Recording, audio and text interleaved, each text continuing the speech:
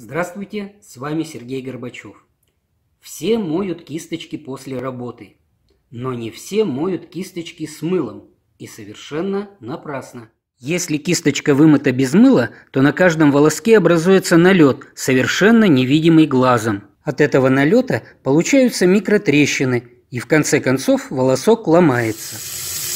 Поэтому моем кисточку, не жалея воды и мыла, агрессивно притирая к ладони. После водных процедур кисточки отправляем сушиться в вертикальном положении. Если кисточка плоская, то ее еще рекомендуется завернуть в кусочек тонкой бумажки. Примерно так. Надеюсь, я вас убедил. И теперь мы будем мыть с мылом не только руки перед едой, но и кисточки после работы.